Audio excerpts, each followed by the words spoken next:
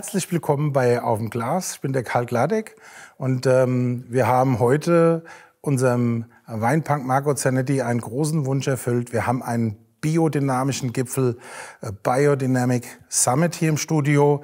Ich begrüße aus Rheinhessen die Bianca, äh, die sich heute von ihrem Mann losgeeistert, Bianca und Daniel Schmidt, äh, ein rheinhessischer Biodynamiker, sag ich mal. Dann haben wir eine biodynamische Ikone aus der Pfalz, der Volker Bensinger. Hallo. Und das Ganze natürlich mit Rheingau. Die Yvette aus dem Rheingau, Yvette Wohlfahrt ist dabei.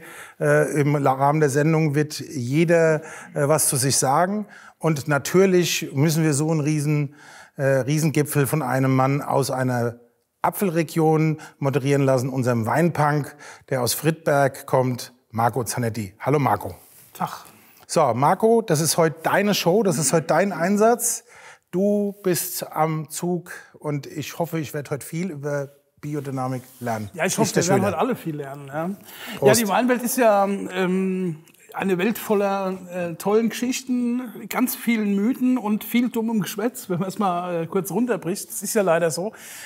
Woran es mir gelegen hat, überhaupt eine Sendung über das Thema Bio, Biodynamie, Naturwein zu machen, weil es einfach so viele Begriffe gibt, die da ineinander verwoben sind, dass es ein Riesendurcheinander ist. Also viele wissen gar nicht, von was sie sprechen. Vor allem ähm, Leute, die es auch verkaufen unterm Strich, höre ich wieder ganz, ganz oft Geschichten, äh, wo das eine mit dem anderen nichts zu tun hat. Und deswegen ähm, unsere Einladung eben an euch drei, so ein bisschen Licht ins Dunkel zu bringen.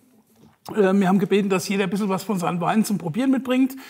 Und ähm, jetzt nicht lang geschnackt. Bianca, du kannst äh, vielleicht einfach mal loslegen, was ihr für ein Betrieb seid, was das ähm, auf der einen Seite für Arbeit im Weinberg ist, was es äh, für eine Arbeit im äh, Keller ist und vielleicht nebenbei noch zwei, drei Sätze ähm, auch über das, was wir im Glas haben. Ja, gerne. Ja, also, Am besten ähm, den ersten Satz über ein Glas, da können wir nämlich anfangen. Prost. Prost. Prost. Cheers. Herzlich willkommen, Bianca.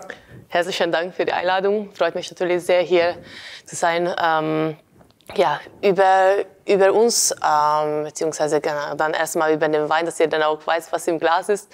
Ähm, das ist unser Silvaner.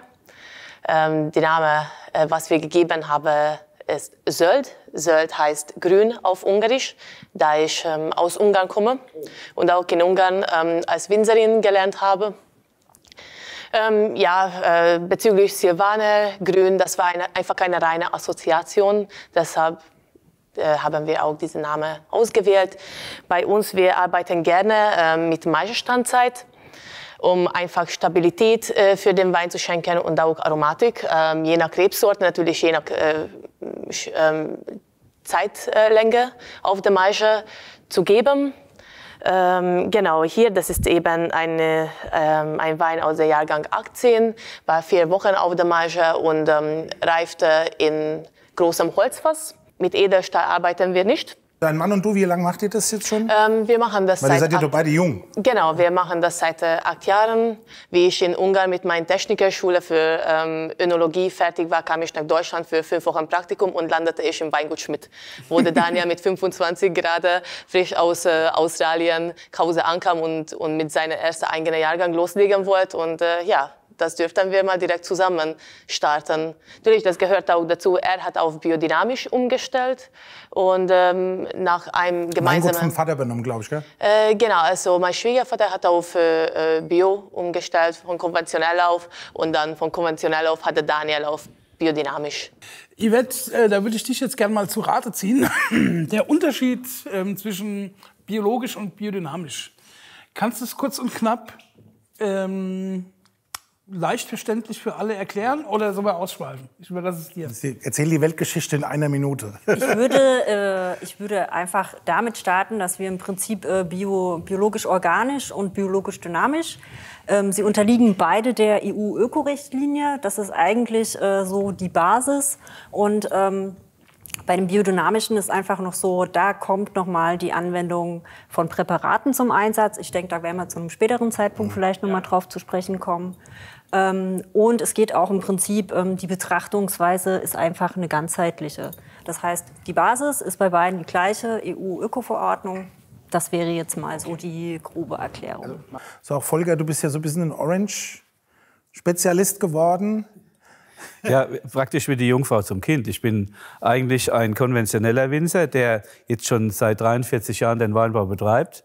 Äh, ich sage immer, ich bin jetzt über 50 und in der zweiten Hälfte meines beruflichen Lebens und habe praktisch eine Liebe daran gewonnen, äh, Natur- und Orangeweine zu erzeugen. Ja. Da bist du bei der Pfalz nicht, nicht mit vielen Leuten zusammen. Bist du Nein, ich bin relativ einsam in der einsam. Pfalz, aber Einsamkeit gibt es bei mir nicht. Das ist also, ein Pfälzer ist nicht einsam. Ja. ähm, wir erzeugen seit äh, 2015 Orangeweine und hatten das große Glück, dass der erste Wein, und das ist ja ganz wichtig, der erste Wein gelungen war und wir viel gelobt wurden für diesen Wein. Und dann haben wir einfach weitergemacht. Ja? Und ich bin immer noch im Versuchsstadium jetzt. Ne? Äh, ich probiere mal das aus und probiere mal das aus. Maischegärung total, also Vergärung mit den gesamten Beerenhäuten und den Trauben ohne die Stillgerüste, dann nur Halbvergärung mit den Trauben und Halbvergärung nur den ausgepressten Saft. Das sind wir noch in der Probe. Wir werden ja auch gleich zwei Weine davon trinken, die halb und halb sind. Und ähm, ich bin, ich liebe diese Weine. Ich liebe diese Weine und ich habe auch vorhin schon gesagt, ich bin ein Dogmatiker. Ich äh, verzichte total auf schweflige Säure, weil schweflige Säure hat ja, ist ja ein Multitalent. Und, aber die schweflige Säure nimmt den Wein den Atem zum Wachsen. Ja, du hast sehr schön, sehr schön gesagt, die Weine wirken statisch. Ja, ja nach die, Einsatz von Schwefel. Ein geschwefelter Wein ist ein bisschen statisch. Erwarte mal, was rauskommt. Ja? Ich, ich weiß nie, was rauskommt. Ich habe gerade eine Scheurebe vergoren und Scheurebe hat normal schwarze Johannisbeeraromen und der hat ein ganz anderes Aroma. Ja? Das weiß ich nicht. Und ich steuere auch nicht. Hätte ich schwefelige Säure ein bisschen dazu, wäre vielleicht ein schwarze Johannisbeeraroma rausgekommen. Du gehst jetzt schon ziemlich in die Tiefe. Ich würde gern, ja, Entschuldige, wenn ich das unterbreche, die Falle noch mal weitermachen, weil mich die Geschichte bis zum Ende interessieren wird. Also genau, ähm, die Zertifizierung haben wir für Demeter ähm, 2012 erhalten. Das war praktisch ein Monat drauf, wie ich in Flörs am Dassam auftauchte. Das war natürlich für uns äh, ja, was, was ganz Großes, weil äh, in der Schule damals hat man natürlich darüber was schon mal dann gelesen, äh, gehört, aber so richtig dürfte ich das noch mehr erleben. Und wie ich schon erwähnte, der Daniel war 25 in der Zeit, hat auch noch nicht so viel Erfahrung damit gehabt. Ähm, daneben hat er schon mal in Australien ähm, bei einem Demeter-Betrieb gearbeitet, was natürlich was ähm, schon mal einen schönen Weg ihm gezeigt hat. Und da haben wir so richtig zusammen angefangen, damit zu experimentieren, ähm, einfach zu Verständnis zu kommen. Und diesen Weg sind wir dann zusammengegangen. Was heißt Biodynamie bei euch konkret im Weinberg? Wo ist der Unterschied ähm, zu dem, was äh, der Papa vorher gemacht hat und äh, was ihr jetzt fortführt? Ja, also der äh, konkrete Unterschied ist, äh, wie das schon mal erwähnt wurde, natürlich Nutzung von den Präparaten. Also unser, ähm, unser Kompost ist auch präpariert, was wir nutzen und was wir rausbringen. Natürlich, ähm, mein Schwiegervater hat auch noch damals ähm, im Bio eine ganz andere Menge von Kupfer und Schwefel im Weinberg rausgebracht. Das haben wir äh, deutlich reduziert ganz, ganz deutlich reduziert. Im Keller bedeutet das für uns einfach, ähm, ja, dadurch, dass wir auch die Stilistik geändert haben, dass wir eben ähm, ähm, nur spontan äh, die Weine vergehren, ähm, auch ähm, natürlich auf Filtration. Spontan, Entschuldige, wenn ich unterbreche, spontan vergären heißt, also für die, die mit äh, Fachausdrücken jetzt noch nicht so vertraut sind, äh, Vergärung äh, der Trauben mit wilden Hefen, sprich die Hefen, die man entweder im Keller hat oder im Weinberg, ähm, die auf der Traube sitzen. Das ist im Prinzip die Spontangärung. Natürlich verzichten wir auch ähm, auf Schönung, ähm, Filtration, äh, Schwefelzugabe ist so eine Sache bei uns. Manchmal gibt es Unterschiede und kann eben einzelne Fässer ähm, etwas eventuell durch Oxidation später schiefgehen. Dafür geben wir einfach eine kleine Menge von Schwefel, was bei uns von 10 bis 15 Milligramm per Liter maximal betrachtet. Okay. Also das ist also für die, die mit den Mengen nichts anfangen können, das ist äh, verschwindend gering. Also gerade so, um Wein zu stabilisieren. Ne? Da gibt's ja auch die wildesten Meinungen. Ähm, ich höre ganz oft auch von, von Kollegen, die vom Fach sind, dass Weine, die nicht geschwefelt sind, ähm, weniger haltbar sind. Ähm, und das habe ich halt schon also live und in Farbe erlebt, dass Weine, die geschwefelt waren, vorher abgeschissen haben, um es mal ganz äh, deutlich auf den Punkt zu bringen, als Weine, die eben nicht geschwefelt waren. Ne? Also da gibt es ganz viele andere Faktoren, äh, wie zum Beispiel Polyphenole, sprich Gerbstoffe, die für die Stabilisation von Wein äh, erforderlich sind. Also ist Schwefel rückt da relativ weit in den Hintergrund einfach. Ja. Ich muss jetzt meinen Job wieder, weil ich bin der Reingrätscher. Ja, ich muss auch reingrätschen, weil Dein zweiter Wein ist im Glas und der Volker und ich, wir gucken schon ganz ungeduldig. Ja, Volker. Ja, probiere. genau. Also, ich muss immer unterbrechen, damit ich zum Trinken komme. Ja, sehr, sehr sympathisch. Genau. Was haben wir hier im Glas? Ja, das ist ähm, unser Erdreich, dem Jahrgang 18. Ähm, das, ist ein, das ist ein Verschnitt aus ähm, gelber Muskateller und Scheurebe. Und der wurde zum Beispiel komplett ohne Zugabe von Schwefel abgefüllt, da es wir uns auch erlauben konnten. Von der pH-Wert her, man hat noch genug Säure ähm, in dem Wein, um den Wein einfach stabilisieren zu können. Also äh, Erdreich, ähm, ein Wein, den ich, den ich eigentlich ähm, die letzten Jahre vermehrt auf dem Schirm habe. Ähm, A ist natürlich, wir haben zwei Rebsorten, die eine schöne Aromatik haben, erstmal für sich. Was ich immer ganz spannend finde, gerade beim heischig vergorenen Wein.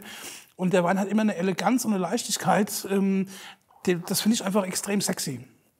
Ist ein, ein, Wein, den ich auch total gerne, so hier und da fungiere ich ja tatsächlich noch als Sommelier, ganz gerne auch einsetze, so im Food Pairing, weil das mega spannend ist. Ähm, und ist so einer der schönsten seiner Art, finde ich, auf dem, auf dem deutschen Weinmarkt auf jeden Fall. Ja. Steht jetzt bei mir im Keller direkt neben dem Package von Benzinger, direkt nebendran. Gut, dass wir aufgerückt sind. Genau. genau.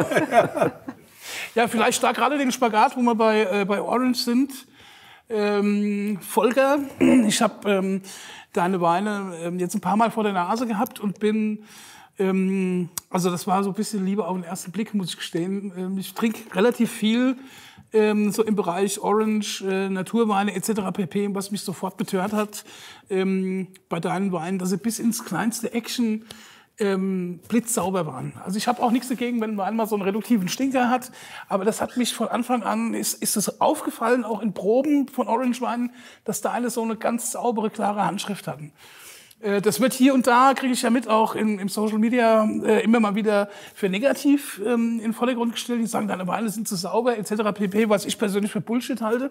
Aber was mich mal interessiert, du kommst ja auch aus dem konventionellen Bereich, was hat dich denn dazu gebracht, ähm, jetzt mal gerade auch, du bist ja, äh, zählst ja nicht mehr zu den Hipstern, ähm, jahrgangsmäßig. Warum? Ähm, Sieht noch gut aus. 50. Nein, nein, mit, ja, mit, ich mit Verlaub, ja, Wie alt bist du? 67. Oh, 70 Jahrgang. Wie bist Ich auch. Herr Post. Ich werde 67. Ach so. Wie, was hat dich denn zum, äh, zum Orange-Wein gebracht? Was war die Veranlassung? Ich äh, mache seit 43 Jahren Weinbau ähm, und äh, bin langsam dazu gekommen. Ich muss ganz ehrlich gestehen, wir haben konventionelle Weine abgefüllt, konventionelle Weine ausgebaut, haben auch viel Geld damit verdient. Aber wir haben auch schon sehr früh fruchtige, frische, duftige Weine erzeugt, gekühlt, vergoren oder sowas. Aber jetzt in Anführungszeichen gesagt, ein Fluch der guten Ausbildung. Ja, Geisenheim ist da schuld dran eigentlich. Äh, es gibt heute keine schlechten Weine mehr, so dass wir austauschfähig geworden sind mit unseren Mainstream-Weinen, die wir wie geschnittene Brot verkauft haben. Und es war schon immer so eine Entwicklung bei mir, dass ich dachte, ich kann, ich muss vielleicht mal auf Schwefel verzichten, ich muss auf Schönung verzichten. Äh, alles das, was ich gelernt habe während des Studiums, ist ja im Prinzip nichts als der Eile geschuldet. Im September geerntet, im Dezember auf die Flasche. Äh, die Natur macht es ja auch von alleine das zum Beispiel Spontangärung. Ähm, und die Erfahrung hat mir eben gebracht, dass ich einfach zwei Dinge beachten muss. Reife Trauben ernten und sauber arbeiten. Ja? Gesunde Trauben ernten, sauber arbeiten, das ist der Aufwand bei Orange und Naturweinen. Ja? Und dann behutsam das, die, die, die Trauben so, so werden zu lassen, wie sie werden wollen. Ja, wie sie werden. Dann kommt mal was raus, was ich vielleicht nicht erwarte, aber ich habe keine Erwartungshaltung mehr, äh, sondern ich beobachte die einfach und wenn sie und das kann ich mir vielleicht leisten, weil ich jetzt in der zweiten Hälfte meines beruflichen Lebens bin, dass ich mal einen Wein nicht in die Flasche fülle, der mir nicht so gefällt. Du konntest mutig sein. Ja, ich konnte mutig den Mut, Mut ja. leisten. Aber der Mut ist gewachsen. Ja. ja. Ich hätte mir vor 30 Jahren in einem, in einem Stadium, in dem äh, Bianca und Daniel momentan sind, das nicht getraut, was die sich heute trauen, muss ich ganz ehrlich sagen. Vielleicht war auch die Marktsituation eine andere. Aber wie gesagt, ich bin da reingewachsen und habe dann 2012 zum ersten Mal einen Orange aus dem Weingau getrunken und der war so toll, der war so, so duftig, der war so würzig, der war klar und äh, der war auch absolut ohne schweflige. Und habe ich gesagt, das will ich noch machen. Und dann habe ich es nachgemacht, 15. Und wie gesagt, habe ich ja vorhin schon gesagt, es ist dann etwas geworden, haben für viele Leute gesagt. Hat also Leute gegeben, denen hat es geschmeckt. Und dann habe ich gesagt, machen wir weiter. Und jetzt sind wir in der Versuchsphase. Ja, ich mache mal so, mache mal so, probiere mit Maische, ohne Maische, aber immer im Holzfass ausgebaut und immer, jetzt wieder das Dogma, ohne Schwefel. Thema Schwefel im biologischen, biodynamischen Bereich. Ähm, wie wird es denn bei euch gehandhabt? Also bei uns wird so gehandhabt, was ich vielleicht mal dem Ganzen noch vorne, vorne wegsetzen kann. Ähm, Im ökologischen Weinbau, wenn wir wieder bei der ähm, EU-Verordnung sind, äh, darf im Vergleich zum konventionellen Weinbau ähm, auch nur weniger Schwefel eingesetzt werden. Das ist bei vielen Winzern auch in manchen Jahrgängen, gerade wenn man so ähm, restsüße Sachen produziert, auch manchmal so ein bisschen ähm, die Thematik oder das äh, Problem, wenn man so einen Schwefelfresser hat. Das höre ich zumindest von Kollegen.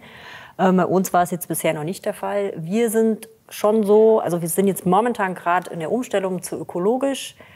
Wir sind mini klein, wir haben 0,6 Hektar. Ähm, ich probiere mich auch mit biodynamischen Präparaten aus, auch aus dem Grund, weil es natürlich total schön ist, seine eigenen Erfahrungen, weil es ist einfach immer so ein Try-and-Error-Prinzip, ähm, die dann natürlich auch mit den Studenten zu diskutieren, weil das ist ja das, was wir auch an der Hochschule ja. machen. Aber was sagst du, was sagt ihr zu dem, was wir im Glas haben mal gerade? Das ist die Scheurebe, ne? Ja. Keine schwarze Johannisbeere, ja? ja. Das ist die Liberalität, die ich dem Wein gebe, ja? Er kann sich so entwickeln, wie er will, hat er gemacht. Ich, ich warte nur drauf, dass im Rücken von mir jetzt Du wartest auf was? Ich warte auf, auf das, dass du was dazu sagst. Ja, ich bin, ich taste mich so ein bisschen noch ran. Ich meine, es ist halt so, da, wo wir gerade bei Handschrift waren, das sieht man halt hier wieder ganz gut, finde ich. Ne? Das kann man schwer in Worte fassen. Äh, das ist mehr eine Empfindung, die man hat. Äh, sowohl äh, in der Nase als auch auf der Zunge, als auch so ein gewisses Feeling, was einem die Weine vermitteln. Ähm, ich will jetzt nicht zutrauen, dass ich vielleicht alle Weine von dir blind erkennen würde, aber ich würde mir es, ähm, ich könnte mir vorstellen, dass man das ähm, rausdifferenzieren kann, so mit einem Ausschlussverfahren. Also genau wie die Bianca vorhin ja schon gesagt hat, die Weine sind lebendiger. Ja, sie sind länger im Mund. Sie haben ein Aroma, wo vielleicht ein geschwefelter, vielleicht will ich mal sagen, oder filtrierter Wein nicht ganz so weit geht, wenn er so jung ist wie der. Ja, das ist ein 19er. Ja, ähm, wir stellen auch fest, viele Leute, die diese Naturwein, unter Naturwein verstehe ich ohne Zusätze, ohne jegliche Zusätze, die sagen einfach, ich fühle mich gut. Sie wissen nicht warum, aber sie sagen einfach, sie fühlen sich gut, wenn sie solche Weine trinken. Ja. Also da ist ja, glaube ich, wo, wo oft darüber diskutiert wird. Ich habe gerade mit, äh, mit ein paar Sommelierkollegen, die eben sich nicht so ganz auf Naturweine oder auf, äh, ich sage jetzt mal, unkonventionelle Weine einlassen wollen, einen so ein bisschen abstempeln als esoterischen Weintrinker. Ne? Und das, das weiß ich ja völlig von mir, weil ich habe mit Esoterik überhaupt, also überhaupt keinen Vertrag. Kann ich bestätigen?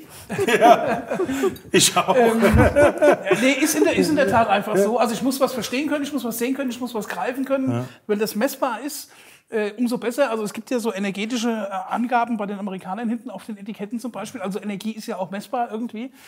Ähm, und ich finde eben genau, was du sagst, so Weine haben eine andere Energie und die ist spürbar. Also wenn man jetzt nicht als Mensch total verstumpft ist, ähm, in allen Sinnen kriegt man das vielleicht äh, auch als Laie noch mit. Dass da einfach was anderes abgeht. Die Länge des Geschmacks, einfach wie der, wie der Wein sich im Mund anfühlt. Und auch, ich glaube auch, und das hat auch nichts mit Esoterik zu tun, auch was der Wein einem für ein Gefühl vermittelt. Das ist wie wenn du Musik hörst. Du hörst es, es gibt Musik, da bekommst du Gänsehaut und ähm, es gibt Musik, da bekommst du das kalte Grausen. Und das sind halt Weine, wo ich Gänsehaut bekomme. Also glaube ich, da ist eine Energie einfach ähm, in Gange, die auf ein Level abgeht, die wir vielleicht noch gar nicht so wiedergeben können. Ist halt auch schwierig, man muss offen sein mein, ich habe meine Erfahrungen gemacht. Also ich habe jetzt ihn kennengelernt vor ein paar Monaten, aber ich habe letztes Jahr einmal so äh, gedacht, ich muss das mal einfach kennenlernen, weil jeder redet über Orange, Biodynamik, was das ist. Und dann habe ich im Internet gegoogelt, kam auf das Weingut Schmidt, habe da angerufen, habe gesagt, ich hätte gerne eine Kiste mit sechs verschiedenen Weinen von euch. Das war merkwürdig. Ich weiß nicht, ob das viele Leute machen. Und dann habe ich zu Hause für mich eine eigene Weinprobe mit den Nachbarn gemacht. Und dann ist es halt wirklich so, dass ich von einem in der Bewertung her von einem 5,0, was das Beste ist, bis zu einem 3,0 alles hatte. Und dass aber das, das dann wirklich Weine waren, wo ich sagte, ich, ich kann es nicht trinken. Aber da waren halt auch, ich sagte ja, meine Frau trinkt diesen Pinot Noir von euch und der, der ist für sie originell, aber die kann den FKK nicht trinken. Die kann auch nicht nippen, weil ihr das einfach irgendwie nicht passt. Und das ist halt bei dem Nature, du musst offen sein, du musst dich ran testen, du musst rankommen. Und wenn du das dann mal so wie, wie ich jetzt durch den Marco auch erzwungen häufiger trinkst, dann kommst du eine ganz andere Liga. Dann trinkst du auf einmal die Weine auch als Laie, ich bin Laie, äh, und, und, und, und entwickelst ein eigenes Gefühl dafür, was viel besser ist. Und dann schmecken dir auf einmal Sachen, wo du denkst, boah. Ich für meinen Teil kann sagen, ich habe äh, hab tatsächlich schon länger mit äh, unkonventionellen Weinen zu tun. Also die erste Begegnung war, wie bei vielen, glaube ich, Nicolas Joly. Das war so in meinen Anfangsjahren ähm, als Sommelier. Das ist bestimmt, ich will mal sagen, vorsichtig 16, 18 Jahre her. Bist du schon so alt? Hab, ja, man sieht es nicht. Ist anders wie bei dir.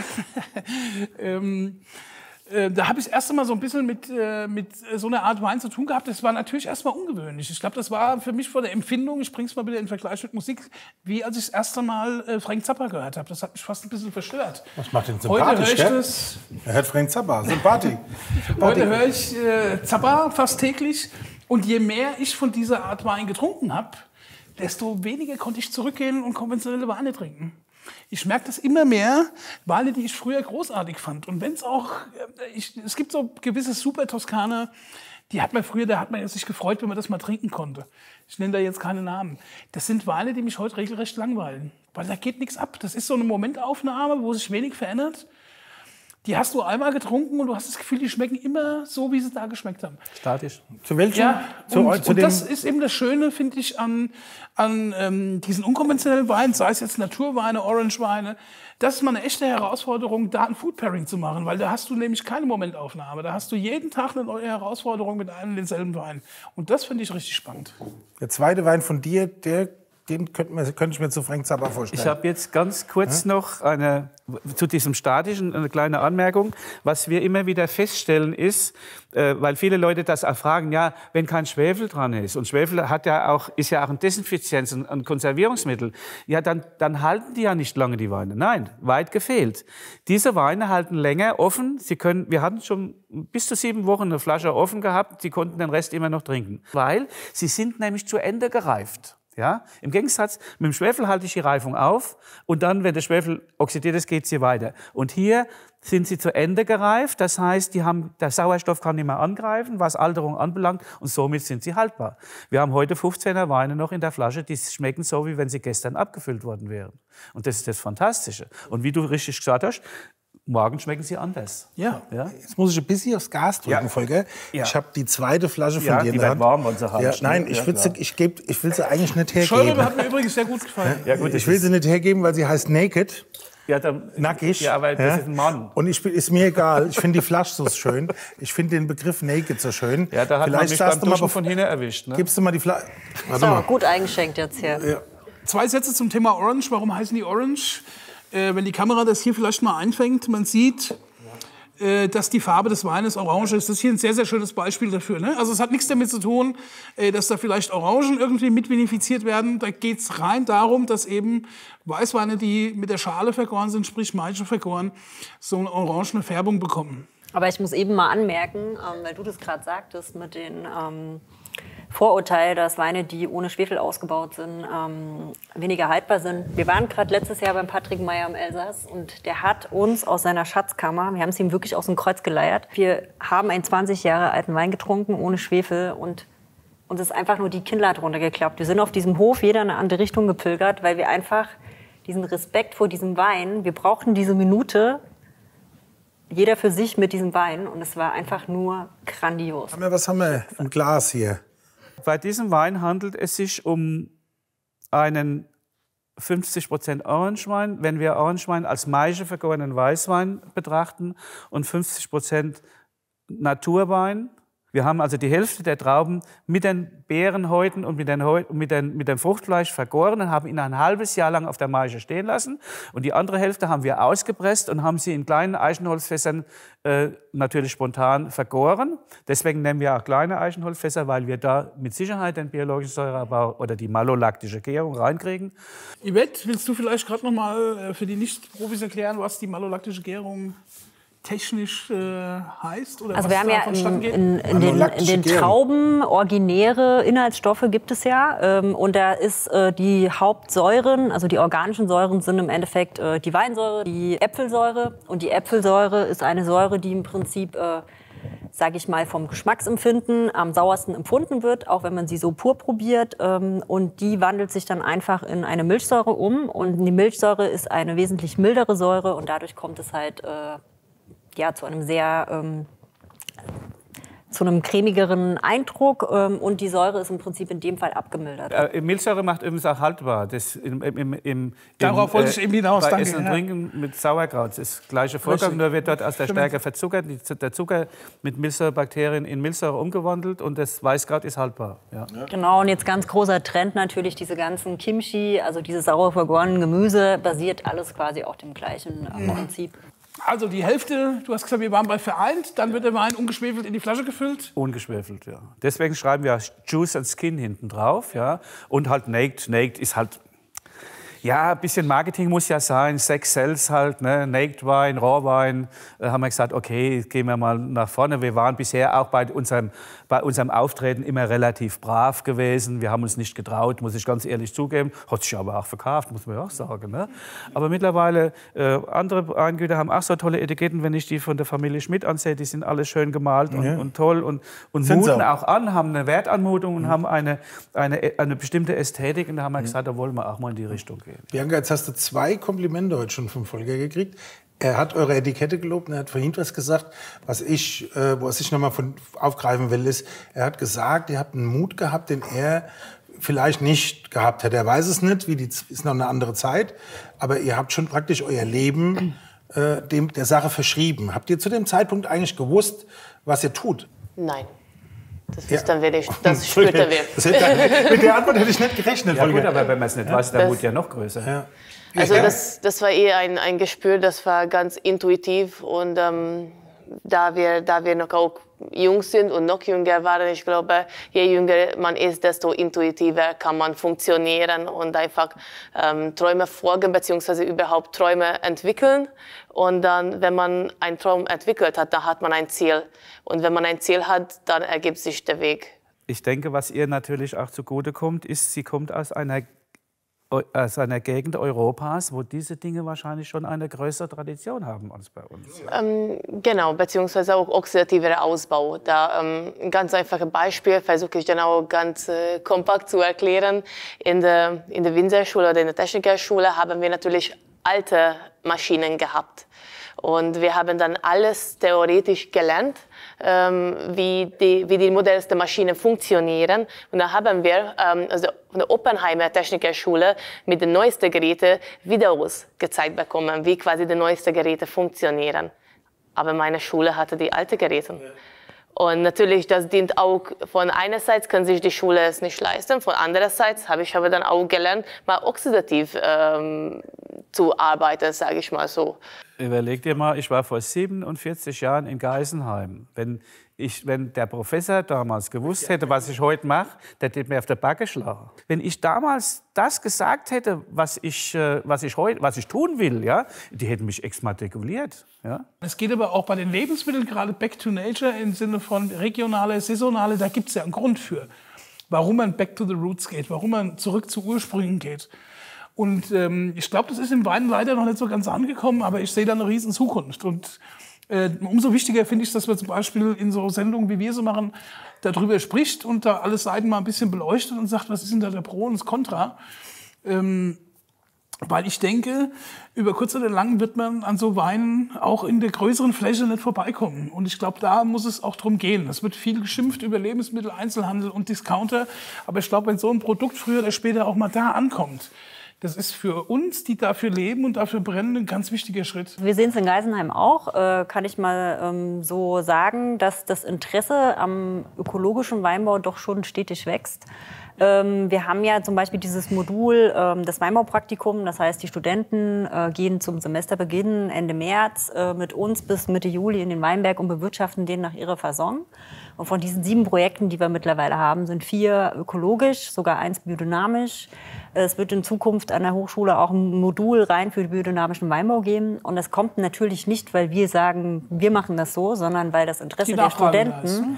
und die Nachfrage da einfach stetig wächst. Ich hätte jetzt verdammt noch mal Bock drauf, Den wollte Den- deinen Genau. Wein zu trinken. Habt ihr, habt ihr Ja. schon alle von dem Wein im Äh, nee, noch nicht, weil äh, wir haben jetzt also wirklich so viel Information gekriegt. Ich gehe, also ich habe jetzt hier heute nur Lehrer und ähm, das muss ich mir, die Sendung muss ich mir viermal angucken, äh, weil, weil wir wirklich unheimlich viel gelernt haben. Darf ich dir einschenken von deinem eigenen Wein? Sehr gerne. Und die Brücke ist eigentlich, wenn der, wenn der Volker vorhin gesagt hat, Marketing, Orange, Utan. ich finde es spannend, dass halt ähm, aus so einem kleinen, wir reden von 0,6 Hektar, in Anführungszeichen so einem kleinen Weingut so viel verschiedene spannende Weine kommen.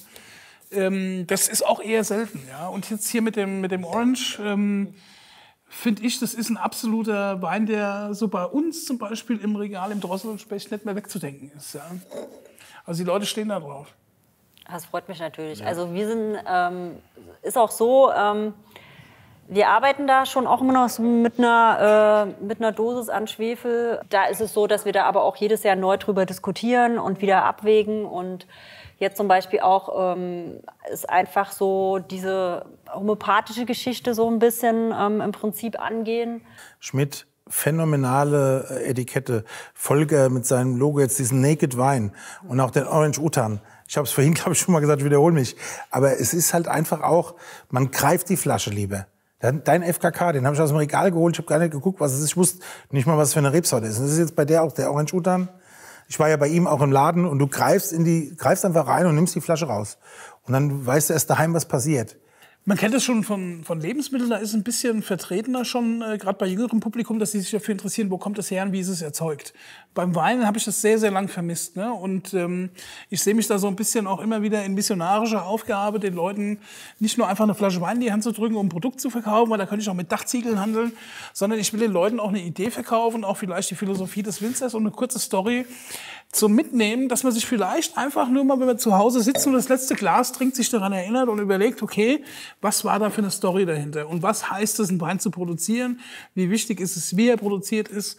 Und noch viel wichtiger, was schütte ich überhaupt in mich rein? Und das Bewusstsein bei den Leuten zu wecken, da sehe ich im Moment ähm, so ein bisschen Arbeit einfach noch. Und das ist ja, ich glaube, warum wir alle machen, was wir machen.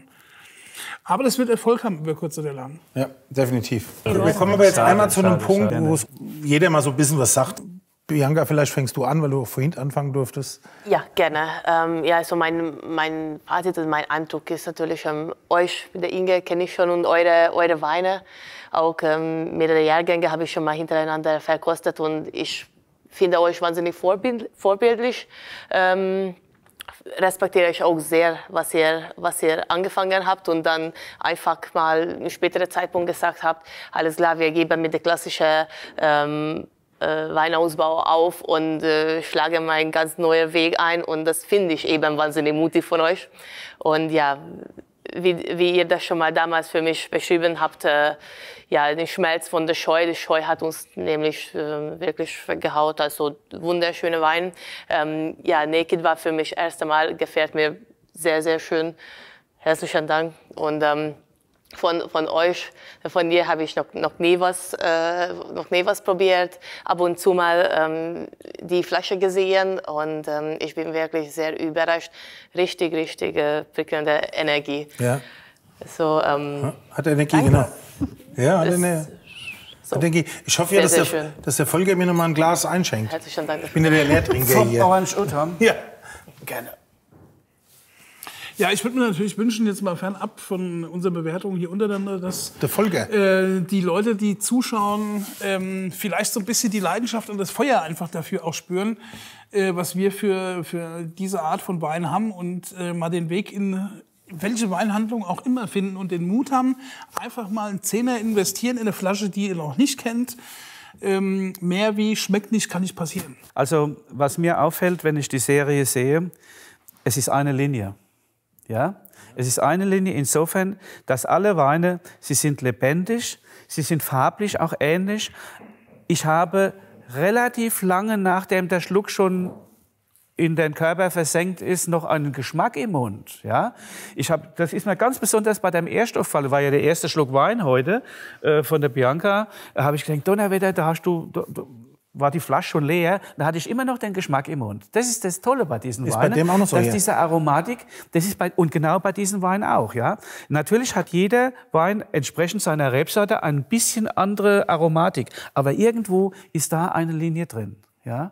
Und äh, das hat natürlich was mit der, mit der Art der Herstellung oder Erzeugung zu tun. Und äh, ich finde es animierend. Alle Weine sind animierend. Ich habe Lust auf den zweiten Schluck. Das ist ganz wichtig. Ja?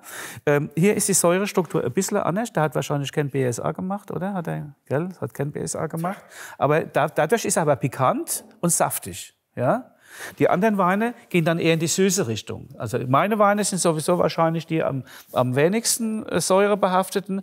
Die gehen, dann in den, die gehen dann in die Cremigkeit und in die Süße rein. Geschmacklich die Süße. Die Scheurebe zum Beispiel, die schmeckt mir unheimlich süß, obwohl sie keinen Gramm Restzucker hat. Ja?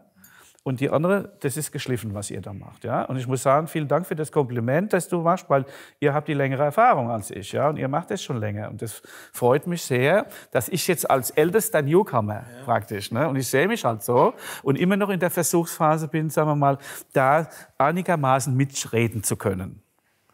So, bevor wir zum Abschlussgetränk kommen, jetzt nochmal dein Fazit. Da haben wir nochmal was Besonderes gleich. Äh, also mein Fazit, was ich total spannend finde, ist, man hätte jetzt vielleicht äh, alle Weine nebeneinander stellen können und vielleicht gar nicht mal farblich einen großen Unterschied gesehen. Genau. Aber wenn man dann die Augen zumacht und in jedes Glas sich nochmal gedanklich so verinnerlicht, hat jeder Wein für sich einen absoluten Charakter, den er auch ausstrahlt. Und was ich so spannend bei den Weinen finde, ist, dass die sich auch im Glas immer wieder weiterentwickeln. Ja. Jetzt seht ihr, jetzt seht ihr wie, wie wichtig das ist, wenn man einem Winzer der seinen Weinberg liebt, sagt kurz und knackig. Ähm, aus einer kurz und knackig macht der Winzer eine eigene Show. Und ich habe zum Abschluss von dir noch mal hier einen Tropfen, mit dem wir uns eigentlich dann verabschieden wollen. Abschlussgetränk ist äh, Spätburgunder Rosé aus dem Rheingau. Lage ist äh, Rüdesheimer Klosterberg, das heißt ähm, direkt unterhalb vom Kloster ähm, Hildegardes in Eibingen, ja. wer das kennt. Sind wir wieder bei Hildegardes von Bingen als alter Rheinhesse. Das ist halt der Rheingauer baut immer die Brücke nach Rheinhessen, das ist so. Der Marco hat ein kleines Paket zusammengestellt. Äh, das könnt ihr mit der eingeblendeten E-Mail hier bestellen. Wir brauchen wie immer alles Likes, Abos und vor allem gerade heute bei so einer Sendung, die ein Thema hat, ähm, mit der wir einfach auch mal eine Message schicken wollen. Vielen Dank, dass ihr hier wart. Und wir haben wirklich, glaube ich, einen guten Eindruck gewonnen. Ich sage auch Danke. Ne? Klar ist, wir haben ein Thema. Marco Zanetti hätte jetzt hier eine dreieinhalb, vier Stunden Sendung draus gemacht. Genau, wir machen zwölf Teile draus. ja, abschließende Worte. Äh, natürlich auch von meiner Seite herzlichen Dank äh, für euer ähm, für euer Kommen hier zu uns. Äh, der eine Weg war weiter als der andere. Ähm, die Message war wichtig. Ähm, für euch da draußen, ähm, versucht mal so ein bisschen euch ans Thema äh, Orange-Weine, unkonventionelle Weine, Naturweine ranzutasten. Kauft ruhig mal, was ihr noch nicht kennt. Und vor allem, wenn euch was schmeckt, teilt es und äh, sprecht darüber. Drink responsibly steht in den USA fast auf jeder Flasche, aber hier würde ich sagen, Responsibility ist insofern wichtig. Schaut, wo es herkommt, schaut, wie es gemacht ist äh, und bewertet danach. In diesem Sinne. Prost.